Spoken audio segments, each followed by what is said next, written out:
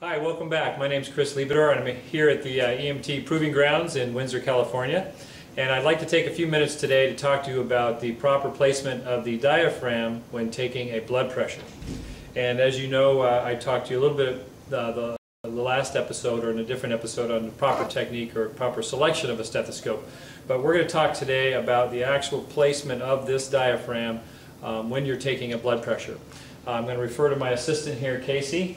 And what I've done here is placed uh, a, a, a, red line on her arm, uh, you know, uh, telling you approximately where the brachial artery is as it comes down the medial aspect of the arm and then over what's called the antecubital fossa, the anterior side of the elbow.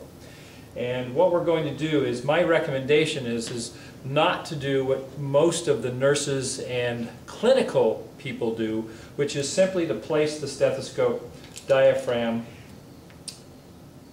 let me get myself untied here, and not just to simply place it over that spot, but to actually palpate uh, with two fingers the, the uh, pressure, the pulse point.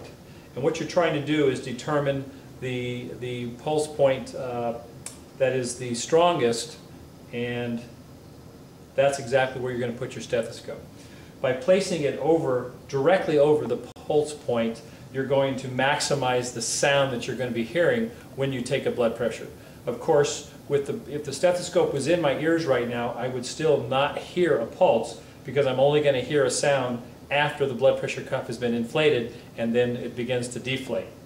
Um, by placing the stethoscope near the, the, the, maximum pulse point, you will still hear a, a blood pressure, uh, that, that systolic and, uh, sound, but it's not going to be as, as dominant. And when you're in the field setting and need to maximize the, the, the sound that you're hearing, it's really important that you palpate first to locate that maximum pulse point, place the stethoscope over that. Now when you hold it, hold it with what I'll call just firm pressure.